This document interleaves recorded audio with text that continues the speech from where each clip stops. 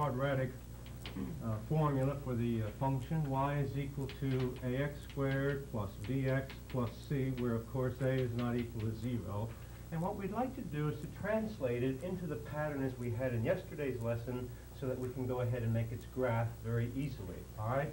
And the pattern, if you recall, that we ended up with yesterday was what? a times, and how then did we write that, Steve? X plus or minus, Well, let's see, now, we're just Oh, thinking x now in minus terms of the eight. formula. Steve? X, Yeah. X minus H, X minus h all squared, plus K. plus k, all right? In which uh, h comma k was the vertex point of our, of our graph. Is that right? Well, let's look at a number of examples and see how this idea will unfold, all right? And here we have a, uh, a formula for a function, y is equal to x squared minus 8x plus 14, all right? And just looking at that, let's try to get it into the same pattern as we have just said, in which we have here x squared minus 8x plus, and now let's complete that square.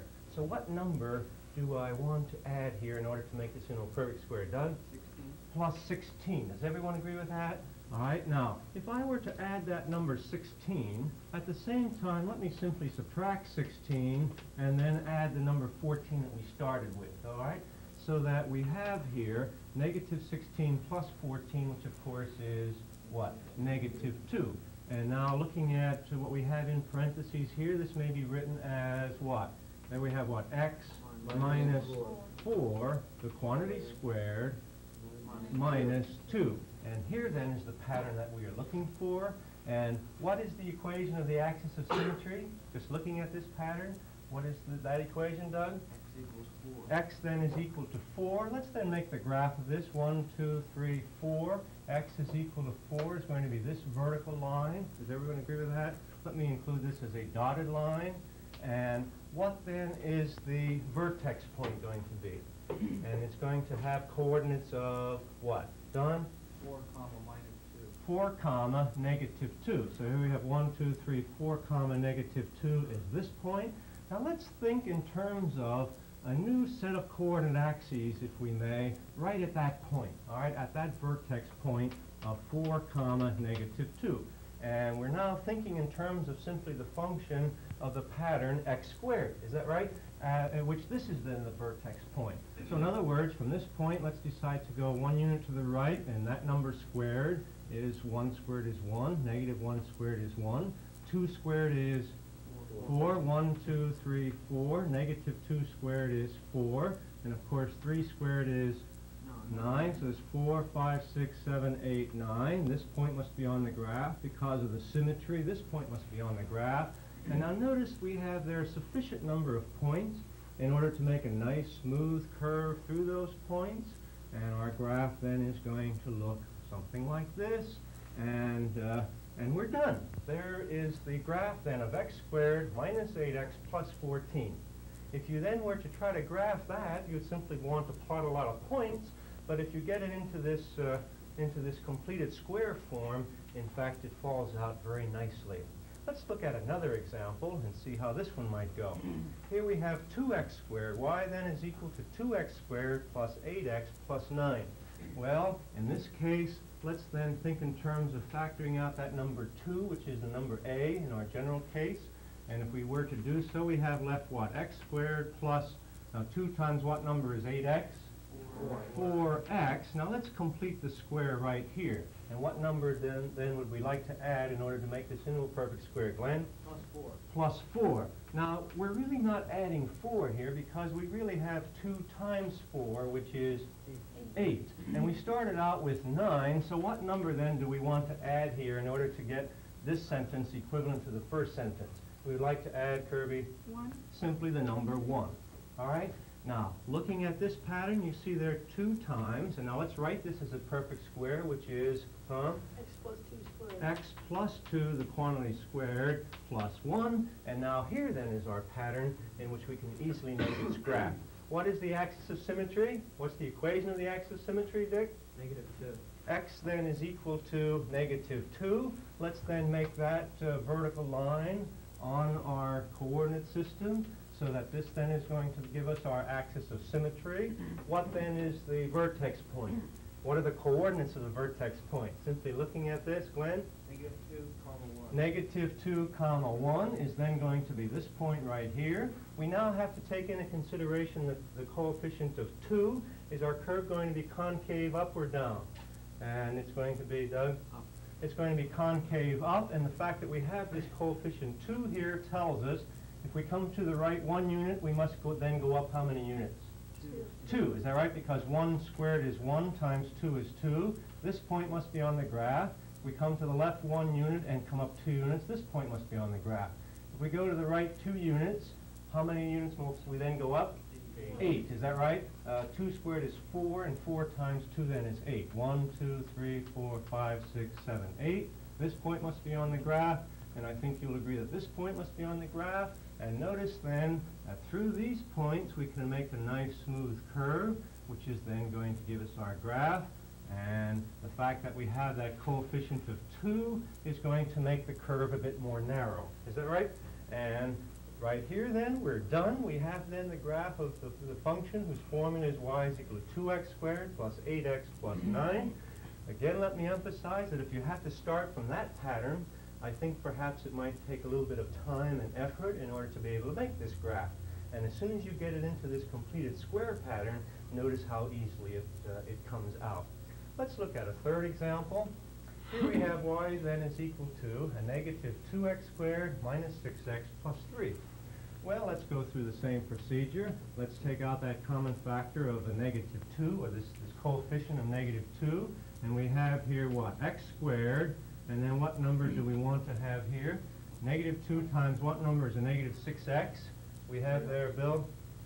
Uh, it's, uh, negative three. Well, let's see now, negative times Oh, negative, right, right, 3x. positive. It then is going to be what, a plus 3x. Now notice here, let's complete this square.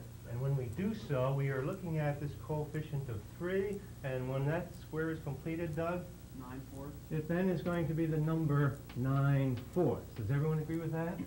Now, negative 2 times 9 fourths is really what number? Is negative, what? There's a, well, it's a negative 9 halves. And so if we then were to sub- have subtracted that number 9 halves, let's then add 9 halves, and then the original number 3 that we have here, and I think we're back to an, a sentence which is equivalent to the original one. Is that right? Now let's clean that one up a little bit. There's a negative 2 times, and now let's uh, write this as a completed square, and what then do we have there? Uh, Brenda? X plus three halves. x plus 3 halves, The the quantity quantity squared. squared, Plus fifteen halves. plus, and here we have uh, 15 halves. Does everyone agree with that? 9 halves plus 6 halves then is 15 halves. And notice here in this example, we happen to have ended up with some uh, fractions here, 3 halves and 15 halves. That shouldn't disturb us. What then is the, uh, the vertex point? What are the coordinates of the vertex, Doug? Uh, the vertex would be negative three halves, fifteen halves. Negative 3 halves and 15 halves, is that right? Now, uh, the axis of symmetry, of course, is going to be where? At uh, x is, Malcolm? X then is equal to a negative 3 halves. That's a negative uh, one and a half. So let's include a line, a vertical line. Let me make this a dotted line, passing through x is negative 3 halves. And then you say that the uh, vertex point will have what? A y value of, of uh, 15 halves, all right, which is what? About seven and a half. One, two, three, four, five, six, seven and a half. And right there, then it's going to be the vertex point. Now notice here our coefficient of A is negative 2. Is our curve going to be uh, concave up or down? And Don, Be down. it's going to be concave down. The fact that it is a coefficient of 2 is going to make it somewhat narrow. Is that right?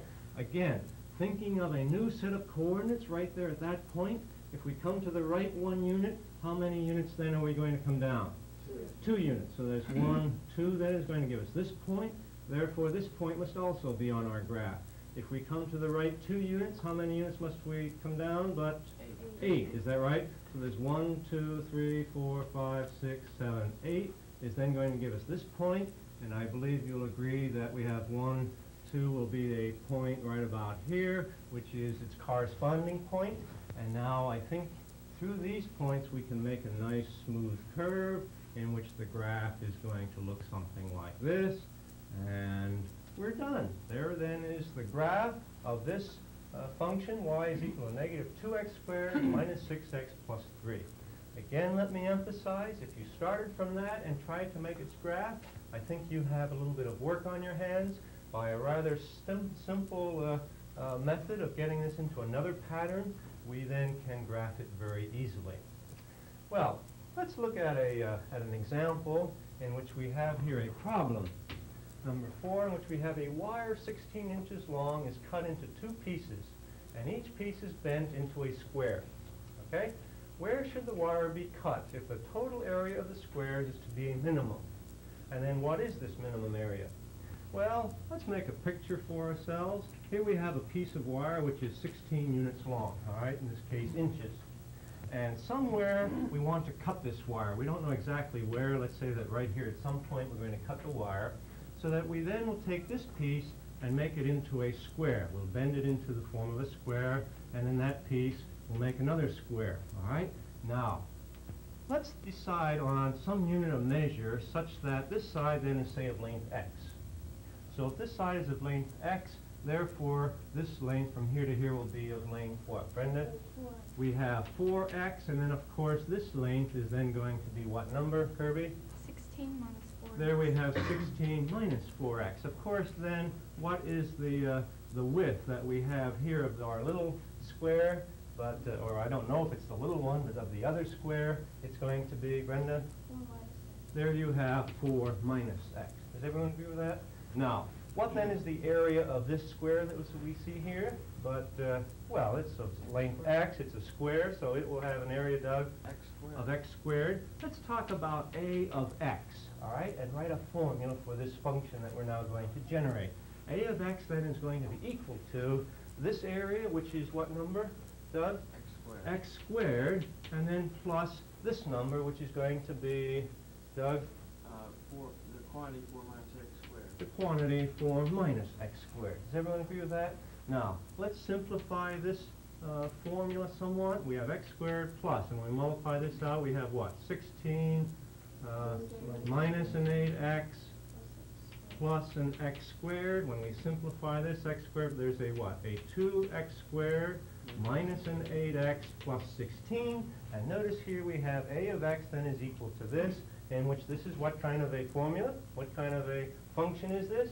It's certainly quadratic. Let's do exactly what we have done in the other examples. Let's make its graph. By doing so, we'll complete the square. If we factor out the number 2, we have x squared minus 4x plus what number? Four. Plus 4. Is that right? And now 2 times 4 is 8 plus what number will get me back to where we started? But uh, the number 8, is that right? So we have here 2 times x minus 2 to the quantity squared plus 8. Now, let's make this graph on a coordinate axis, all right, in which we have here uh, the axis of symmetry is what? Let me repeat our formula, if I may, over here in our coordinate axes. We have a of x then is equal to 2 times x minus 2 to the quantity squared plus 8. And the axis of symmetry is at, Doug? Two. X is equal to 2. Let's include that on our graph as a dotted line, a vertical line. x then is equal to 2. And of course, the uh, vertex point is going to have coordinates of what, Dick? Two eight. 2 comma 8. So 1, 2, 3, 4, 5, 6, 7, 8 is then going to give us this vertex point. And the fact that we have a coefficient of 2 here is going to make it what? Concave up. Is that right? And the fact that it is a coefficient of 2, it's then going to be somewhat narrow. So if we come one unit to the right, we then must go up how many units? Two. 2 is then this point, and negative 1 squared is 1 times 2 is 2, which is this point. And if x is, if we come out here 2 units, we must then go up at 1, 2, 3, 4, 5, 6, 7, 8. And then, in fact, I think you'll agree that this point must be on the graph. Through these points, then, we can make a nice smooth curve, in which this, then, is a formula for this function that we have just generated. Now, let's interpret this in terms of the original problem. Now notice what we have along our x-axis here. These are the various numbers for x. By the way, I shouldn't have put arrows on here because we're dealing with a physical situation in which, uh, let's come back here to the original conditions. The number 4x can certainly, must be where? Between what two values? Uh, This certainly can come down here in which, uh, if x were over here, what are our restrictions on 4x in other words? 4x must be between where and where? It must be greater than or equal to, Don? Zero. Greater than or equal to 0 and less than or equal to, Don? Sixteen. Uh, 16. Therefore, if we were to simply divide through here by the number 4, we'll have x then is, must be a number between 0 and what? 4. So let's then come back to our coordinate axes. And if x is uh, 0, the most that we can have on our graph then is going to be uh, at this point, and in fact, at this point right here. So indeed, uh, let's have simply a, uh, a heavy dot there to indicate those two points are on the graph, but it doesn't go any higher than that, okay? Now, let's interpret this, uh, this graph in terms of the conditions of the problem. These are the values for x that we may have where we're going to cut this, uh, this wire going from 0 to 4. Is that right? Now, what value of x then is going to minimize this function? And just looking at it, uh, we can read that right off the graph, Kirby Two. when x is 2. And in fact, when x is 2, what then is the value of that function? What is the area when x is 2? And just looking at it, we can see that it must be what number? Charles? At 8, is that right? So when, when the, uh, when x is 2, the area function is going to be up at 8. Let's come back here to our original problem and see if indeed that makes sense. When x is 2, 4 times 2 is where we're going actually going to make that cut, is going to have what value? It then will be at 8. And in fact, when x is 8, that is when we make the cut 8 inches across, where will it be in relation to the wire? It will be at its, uh, at its midpoint. Now, in fact, if you, if you thought about this a little bit more, let's come back to our picture. If x were 0, that is, you didn't make any cut at all, all right? You left the wire of one length, and then bent that into a square, that then would give you the maximum uh, area, wouldn't it? You'd have that one piece of wire in which it would be a square. What would be the area of that square? At that point, it would have a what area? From here up to there is a what number? What length? 16. That would be the area. And of course, if you then, uh, say, cut it at the other end, so to speak, uh, or make no cut at all again, its area would be what number? 16. That would be its maximum. Any number in between is then not going to give you either maximum or minimum, but in fact, the minimum will be right at the midpoint. Okay? So, I think that there are many problems of this type that will, uh, that you can do by means of this quadratic function. Let me then give you your homework assignment, and I think that's all that we need to do for today.